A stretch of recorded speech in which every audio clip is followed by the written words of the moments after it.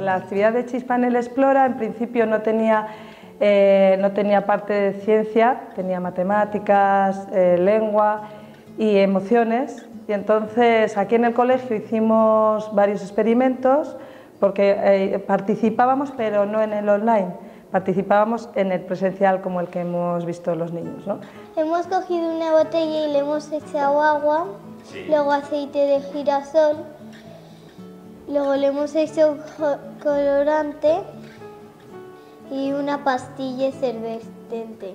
Y luego tenemos que apagar las luces, poner la linterna del móvil o, de la o una linterna normal de, debajo del experimento y así em, mola más. Pues alguien se enteró de que estábamos haciendo aquí pues este apartado de ciencia y nos propuso que si queríamos pues darle un poco a conocer a todos los demás de La Rioja. Lo que hacemos es grabar cada dos semanas un experimento que lo lanzamos en el blog de Chispa. Los niños de toda La Rioja hacen los experimentos y nos lo vuelven me lo mandan a mí como Chispa los resultados.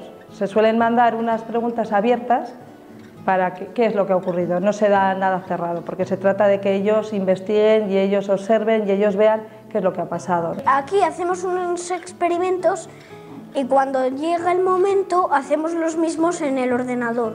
Mi madre solamente lo lee conmigo y luego oh, me dice qué es lo que tengo que poner y luego ya lo hago yo todo. Claro, la ciencia eh, cuando se hace divertida y cuando se hace palpable es la manera de que a ellos luego les guste y lo entiendan, porque a veces hablamos de cosas, la densidad, ¿qué es la densidad? Pero si lo ves y ves qué es lo que ha ocurrido, pues el vaso multicolor que hicimos con varios líquidos y ellos ven, pues ya puedes explicarle qué es la densidad. Y a los niños les gusta tocar y sentir, no que vayas, les cuentes algo y no lo vean. Entonces yo creo que eso es lo que más les gusta. Yo estoy muy contenta porque mm, participan familias enteras, que ves que, pues, que el pequeñito también quiere y mete la mano y aprende y les ayudan los padres y está resultando muy, muy bonito.